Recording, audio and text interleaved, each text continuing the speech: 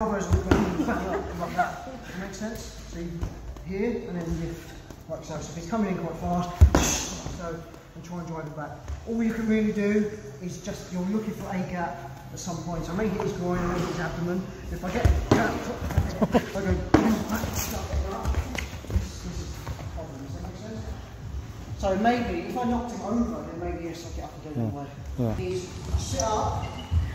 I'm going to put that leg on the ground, and the reason is I can sort of kick from, here as well. So if I like kick at him, I can then literally bring it straight back. Does that make sense? That's another. It's the same thing. I'm just trying to boot. You may get away with smashing your knees or whatever it's going to be. Happy with that? It's exactly the same as before. Is if I can get a lot of distance, to get up, I don't really want to run in on him, so I'm not going to get the ball, just run towards him. So you're going to have to try and get around like that. I'm literally just turning and get my legs back in the front again. Even if a football kick was coming beside it, like you're always better off having your feet in between. Get this leg through and I'll catch it and I'm literally looking to makes sense you're trying to deflect and move and at the same time try and catch that and then you work from here.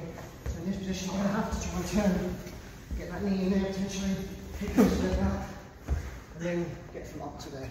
Get it off, I catch. Makes sense? Now I'm here, it's going to be a wrestle and a bit of a bang on it some way. Even there, I can try and pull him in, I need to get close, like so.